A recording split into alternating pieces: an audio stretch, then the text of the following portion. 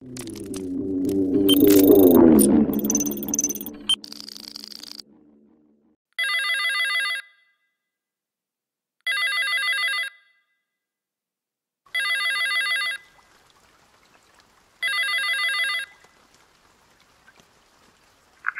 zaznění tónu zanechte vzkaz.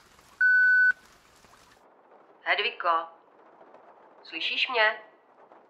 Hedo. Vlastní mámě bys mohla zvednout telefon, nemyslíš? Chtěla jsem ti říct, abys doma nic neuklízela, když Tomáš bude instalovat ten alarm. Hedviko. Ani bych se nedivila, kdyby zase byla tátovi na hrobě.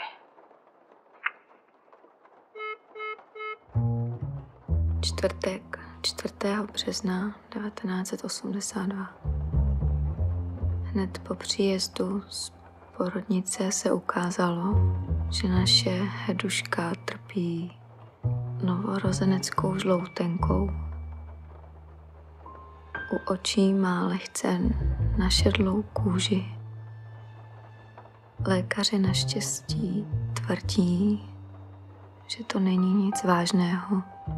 Postýlku hedunky jsem přestěhoval k oknu. Denní světlo prospívá léčbě.